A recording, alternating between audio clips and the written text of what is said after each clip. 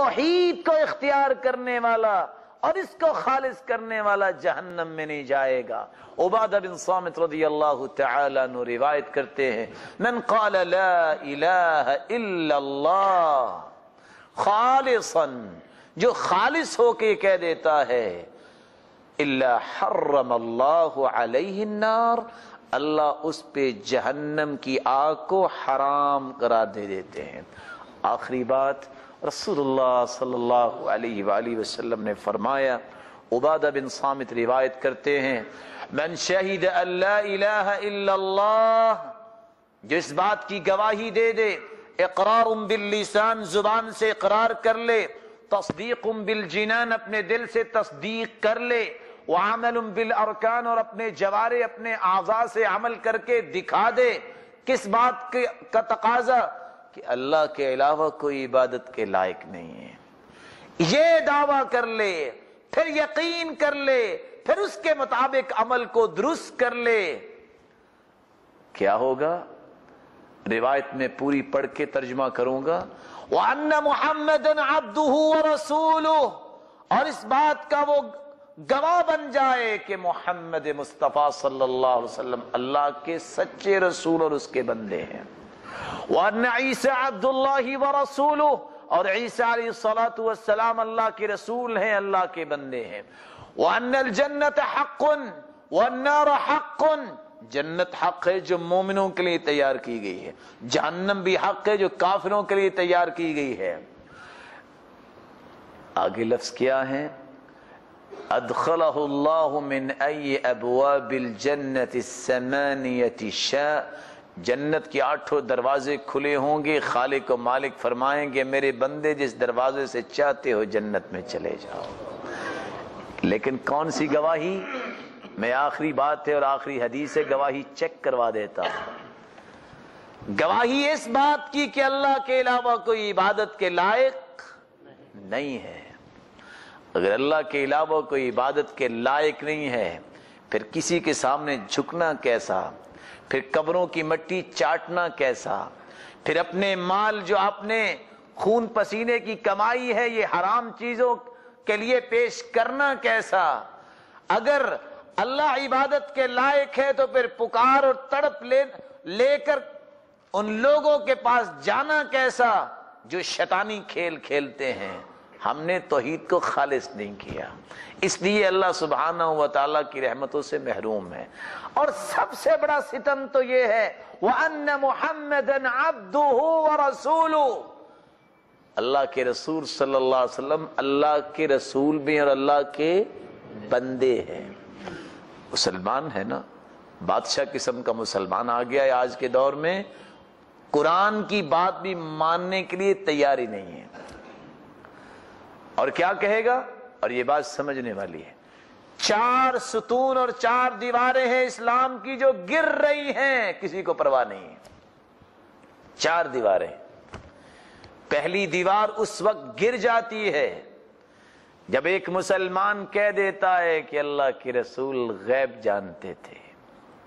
جانتے تھے؟ قرآن کیا کہتا ہے؟ وَلِلَّهِ غَيْبُ السَّمَاوَاتِ وَالْأَرْضِ.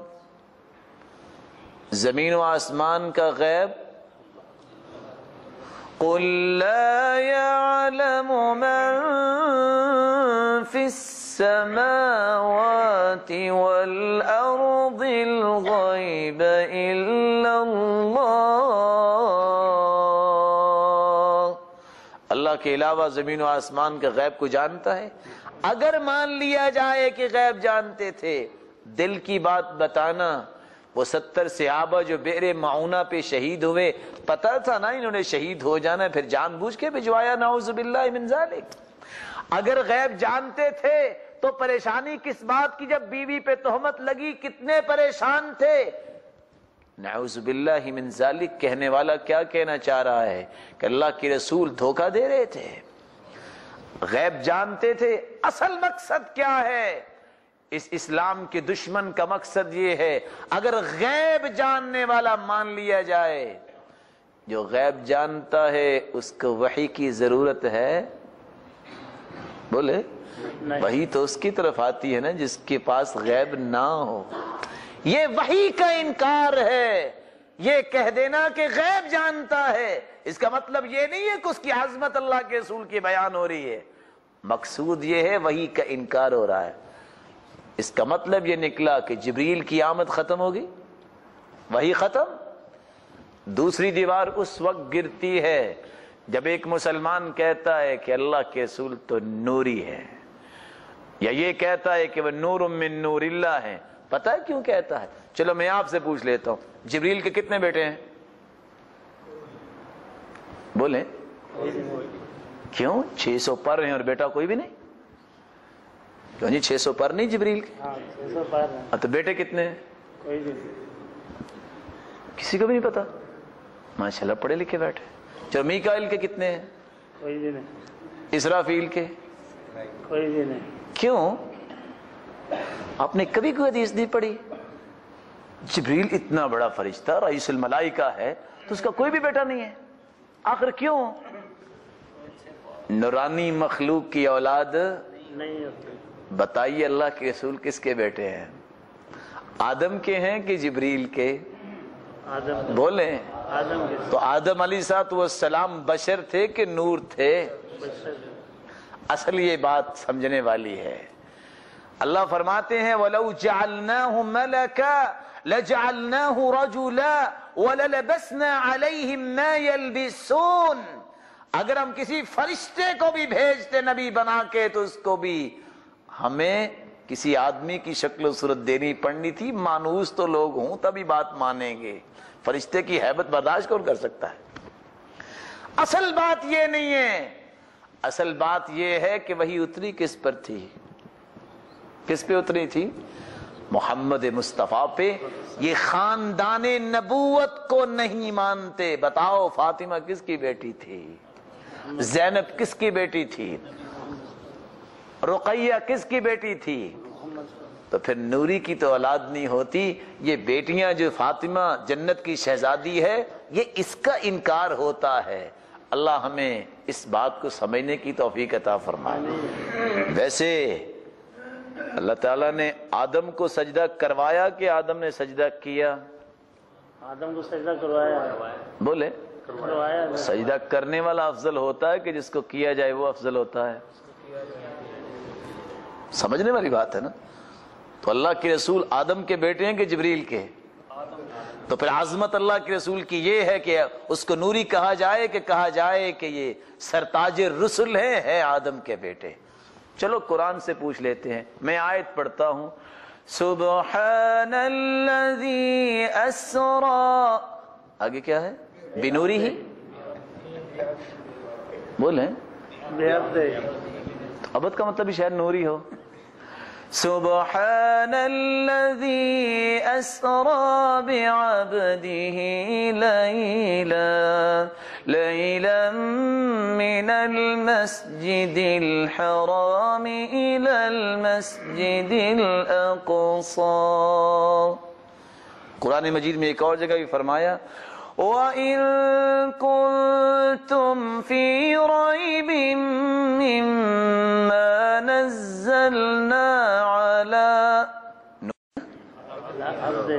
عَبْدِنَا فَأْتُوا بِسُورَةٍ مِّن مِثْلِ. ہم نے جو اپنے بندے پہ قرآن نازل کیا ہے، کوئی ہے جو ایک آیت بھی اس کے مقابلے میں لے آئے؟ أفرأيت الذي ينهى نورا إذا صلى؟ عبدا إذا صلى. چلو، عبد کا کو معنی شاید کیا کرتے ہیں؟ وہ سورہ آراف میں بھی کہتے ہیں کوئی ایک آیت اللہ نے نازل کی ہے۔ قل انما انا بشر۔ نورن تو نہیں ہے یہاں؟ میرے پیارے پیغمبر، اپنی زبان مقدس سے فرما دیجیے۔ قل انما انا بشر۔ انما سوائے اس کے نہیں، یہ کلمہ حسر ہے۔